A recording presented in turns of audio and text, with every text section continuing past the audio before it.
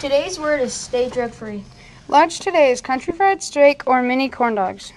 Our habit this week is collaboration. Leadership is thriving in the nation. I just saw a kid walking in the hallway quietly. We love learning about math. This week I saw a first grader holding the door for others. Everybody remember to be respectful today by following your teacher's directions. Remember, stay drug free. Peace out. Bye bye.